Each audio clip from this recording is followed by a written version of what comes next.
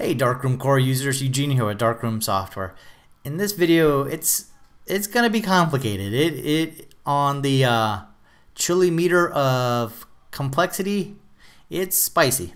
Um, what we're gonna be doing is outputting to a folder that's automatically FTP uploading to a website and then also printing at the same time with a QR code with a web address to a file that is not quite there yet that should all sync up and happen within a couple seconds of each other all kind of automatically. Um, it does require a little bit of FTP knowledge and some HTML just basic stuff. But uh, if you don't get it don't feel too bad. It is a little bit more difficult.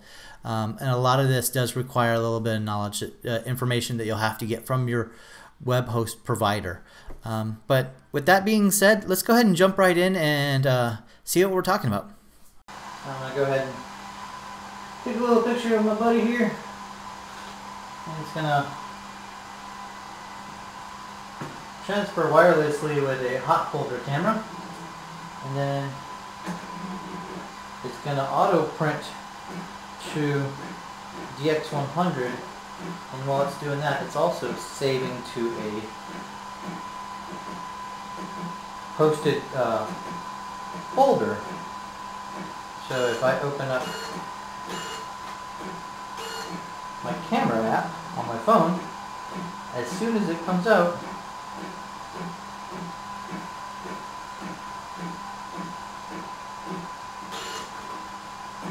I can go ahead and scan it and tap to download my image. Okay, to get a little idea of some of the moving parts that we're working with, I've put together this little illustration. So you're the photographer and you've just photographed uh, your client and you get a printout that includes a QR code that the client's then supposed to scan to download an image from your website that has just been placed on your website. So there's a few different things that are happening all at once. And the idea is that it'll take a couple seconds to print the file and it'll also take a couple seconds for it to move to your website. Let's go ahead and start by looking at Darkroom and seeing how the output is set up for uh, both the, the print and the uploading file. Okay, so here we are in Darkroom. Let's go ahead and uh, see how that auto print package is set up and then we'll uh, look at the template and also build it as a package.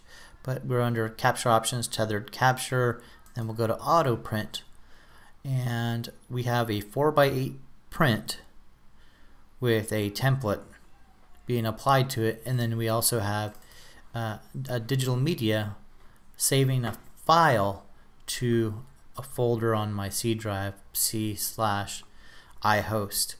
Um, and I use the iHost folder just because I couldn't use gallery but really this folder can be named anything as long as you know what it's going to be named on your web server. Um, so we'll go ahead and click cancel because we didn't make any changes there let's look at the template. Here we are.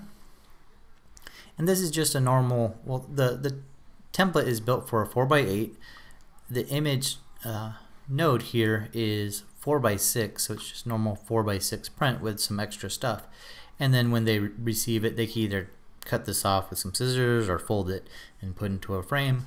But it has this uh, extra advertisement space and this QR code that is set to go to my website slash iHost. That's the subfolder I'm putting in.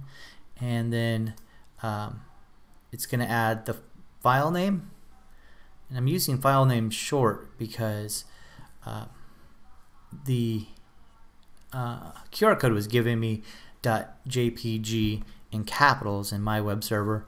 Uh, it has to match exactly for um, the uppercase or lowercase. So uh, you may be able to get away with using file and you want to make sure it does not add a space because that will uh, break the link but I used file name short remove that space dot jpg so that it works on my web server and click OK. And then we'll go ahead and cancel because once again we didn't make any changes. And I'll try to have this template available online or a version of that template that you can download and use yourself. So let's go to our package groups. We'll create a new package call it QR just to keep it simple.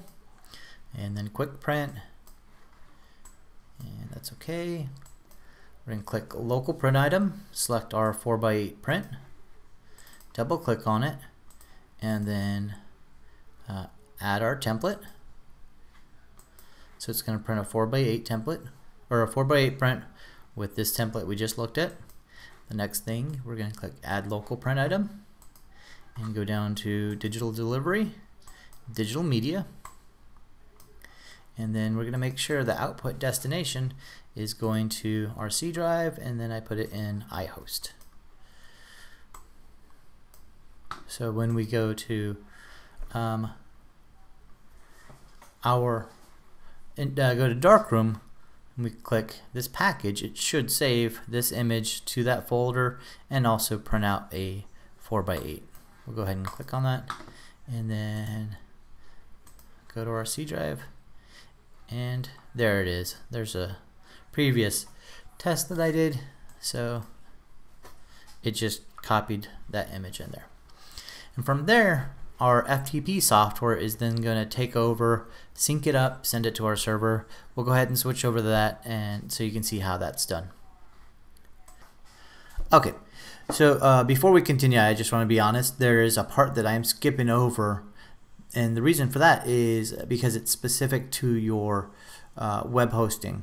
You'll want to contact uh, your web hosting support so they can help you out with this. But you'll want to create an FTP user on your website uh, and then take those credentials and log into the software that I'm about to show you. And um, so I'm going to skip some of that because it has some personal information in it and also it is very specific to my web hosting so each one's going to be different.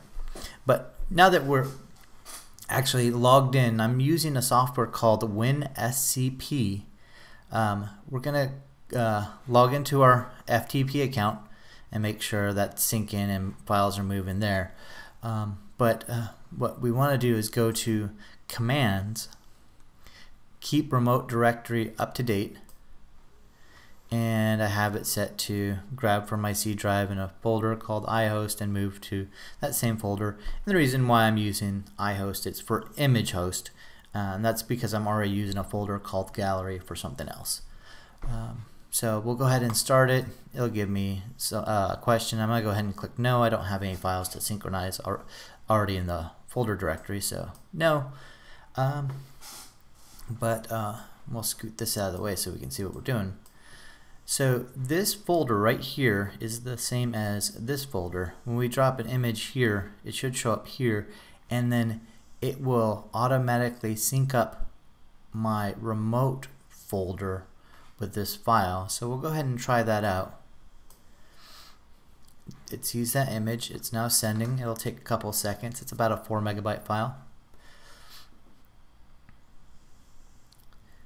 So now it's copied it from my local folder to my remote folder that's on my web, uh, essentially my website. So um, in my web browser, I'm going to go to my website slash iHost, but uh, that folder might be different for you. And then I'm going to type in 1.jpg. And the reason why I used 1.jpg, it's very simple. I'm not going to misspell anything. Um, it's a good test, uh, initial test to do something that simple. Click enter and it should pull up this image. Now we're looking at it on my from my website. So if I drag in another image and type it in here, it should work. The next step would be to go to Darkroom, output from Darkroom to this folder that will automatically sync up and then type in the file name that Darkroom's outputting and make sure that's working. And then if that's all working, then try scanning the QR code. If for some reason it doesn't match up, look at uh, the actual path and compare the one that uh, you're scanning to the one that you typed in and see if there are any variations. If there are, uh, try to minimize those so whatever the QR code has is exactly what you would be typing in. Um, capitalization does sometimes matter. So I hope this has been helpful. Thank you very much for watching and uh, we'll see you next time.